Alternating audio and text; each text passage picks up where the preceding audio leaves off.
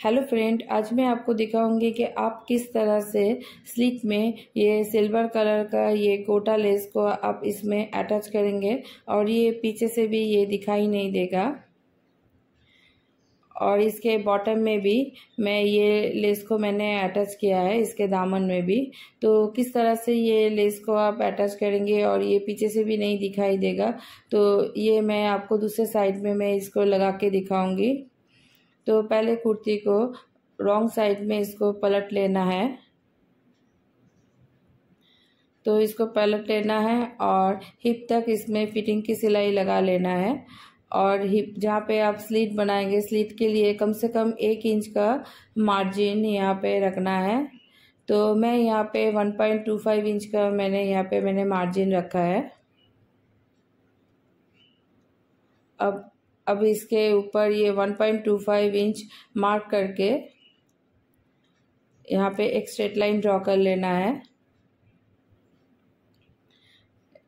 पूरा और इसके बॉटम में भी 1.25 इंच ही मैंने इसमें मार्जिन रखा है। इस तरह से ये चारों, इसके तीनों तरफ़ एक स्ट्रेट लाइन ड्रॉ कर लेना है। और इसके ऊपर ये समोसा लेस व ट्रायंगल लेस को इसके ऊपर रखना है। और इसके राइट साइड अंदर के तरफ़ रहेगा और थोड़ा सा भीतर से रख के इसके ऊपर सिलाई लगाना है। तो ये इसका रॉन्ग साइड है और ये इसका राइट साइड है। तो इसके सीधे साइड इसके नीचे रखना है, कुर्ती के ऊपर रखना है और हिप की सिलाई जहाँ तक है, उसके थोड़ा सा अंदर के तरफ़ से ये लेस को इस तरह से रखना है। और इसका जो ट्रायंगल का जो शेप है, ये अंदर के तरफ़ रहेगा। और इस तरह से रख के, जिस तरह से मैं दिखा रही हूँ, इस तरह से रख के इसके ऊपर सिलाई करना है। तो मैंने सिल्क में जो, मैंने ये जो लाइन ड्रॉ किया है, इसके ऊपर ही लेस को रखना है और सिलाई करना है। इस तरह से लाइन को देख के इसके ऊपर ये लेस को रखना है और सिल लेना है। और जब बॉटम में आएँगे तब यहाँ पे एक छोटा सा प्लीट बनाना है और फिर इसको घुमा लेना है। घुमा के फिर इसके ऊपर सिलाई लगाना है।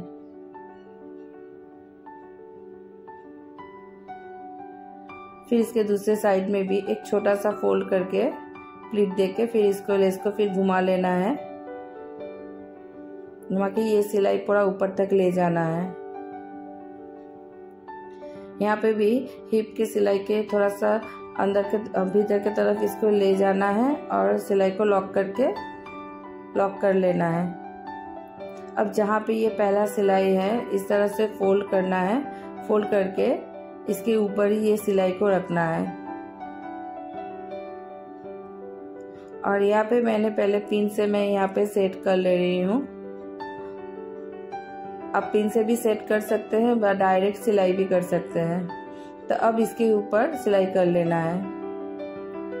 तो ये सिलाई ट्रायंगल के ऊपर नहीं आना चाहिए। जहाँ पे ये पहला सिलाई मैंने किया है, उसके ऊपर ये दूसरा सिलाई करना है। इस तरह से फोल्ड करके इसके ऊपर सिलाई लगा लेना है।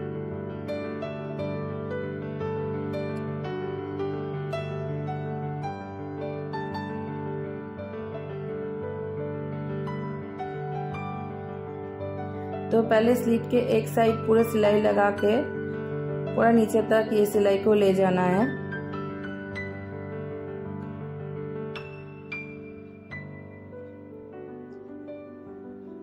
और यहाँ पे थोड़ा सा ये फैब्रिक एक्स्ट्रा निकल गया है तो इसको मैं कट कर लूँगी। और फिर बॉटम में भी इस तरह से डबल फोल्ड करके इसके ऊपर सिलाई लगा लूँगी।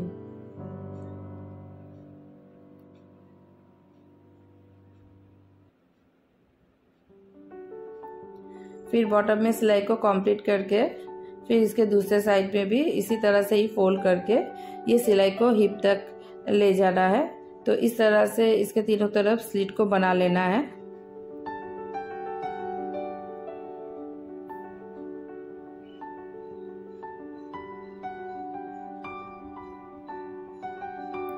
अब इसको पीछे के तरफ़ ये तीनों साइड इस तरह से दिखेगा। अब इसको पीछे की तरफ़ इस तरह से पलट पलट लेना है। तो इससे सिर्फ़ इसका ट्राइंगल ही दिखाई देगा और ये पूरा लेस अंदर के तरफ़ चला जाएगा। अब मैंने दूसरा सिलाई जहाँ पे मैंने ख़त्म किया था, वहाँ से ही मैं सिलाई को स्टार्ट करूँगी।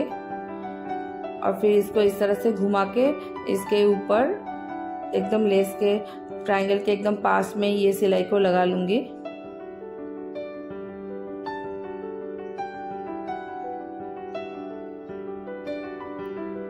तो जिस तरह से मैं दिखा रही हूँ तो इस तरह से इसके ऊपर सिलाई लगा लेना है।